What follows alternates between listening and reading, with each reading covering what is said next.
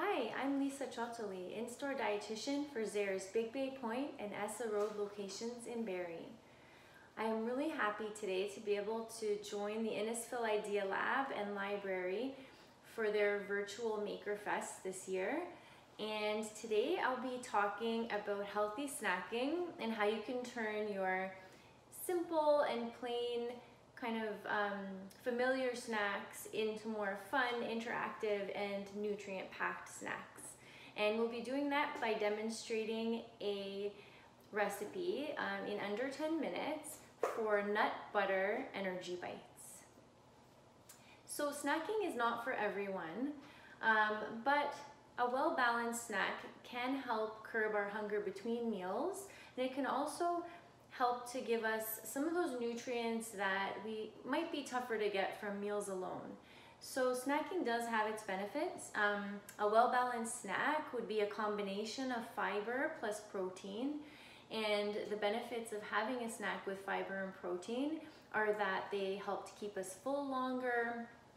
They can help balance our blood sugar levels.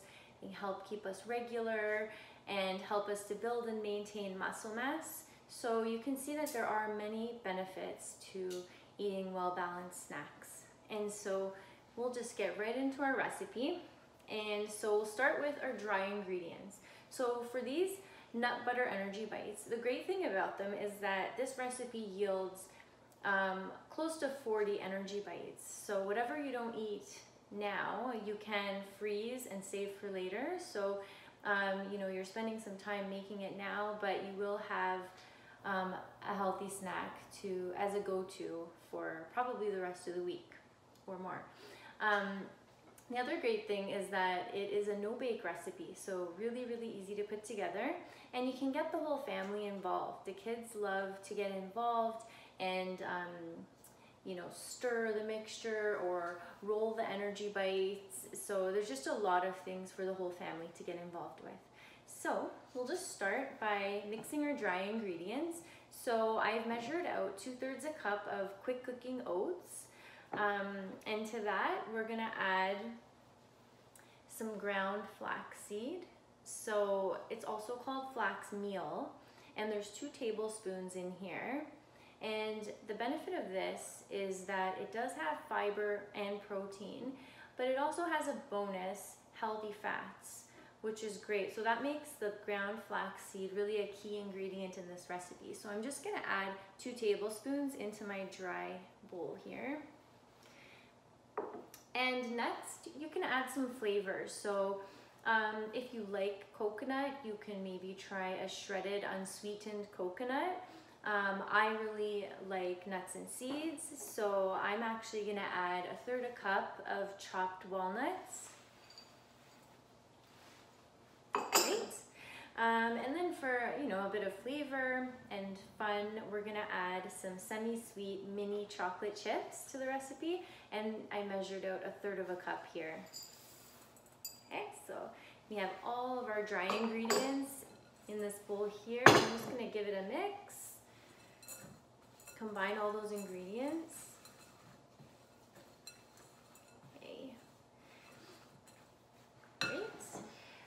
Okay, now we move on to the wet ingredients. So I've measured out one cup of peanut butter in this bowl, medium-sized bowl. Um, you can use almond butter if you prefer, and if you have an allergy in the home, feel free to substitute for a sunflower seed butter or a wow butter, which is soy-based. Those also work really well. So to our peanut butter, I'm gonna add a quarter cup of pure maple syrup, and you could use honey here if you prefer. I'll just add that in. This is like our binder mixture. Um, and to that, I'm gonna add some vanilla, a teaspoon.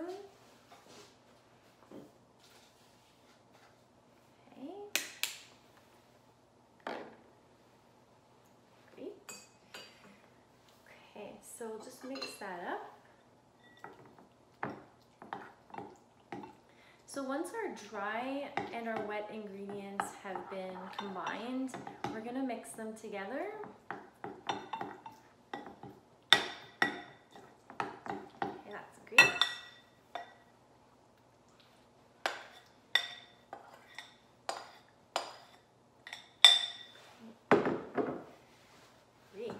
This can get a little bit messy. so you can use your hands or you can use a spoon. I might have to do both today, but I'm gonna try with um, the spoon first. We'll just combine everything together.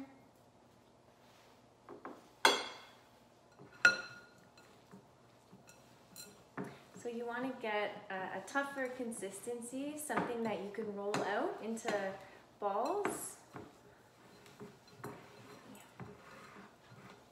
It's coming together really nicely.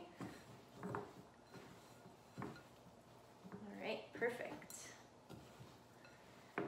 So I have my mixture now, wet ingredients and dry ingredients. It smells great.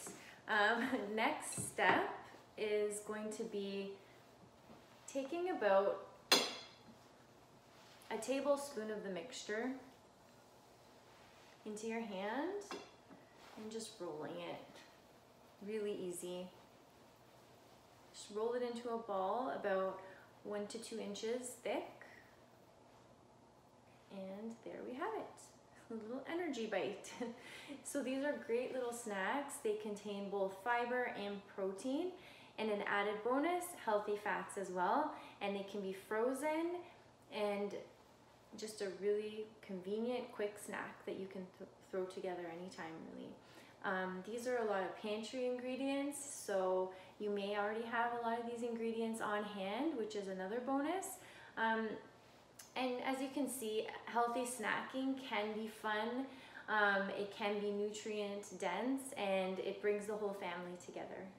So if you do have more questions or um, are looking for more recipe inspiration, feel free to reach out to me by visiting bookadietitian.ca to book your free 15 minute chat with me.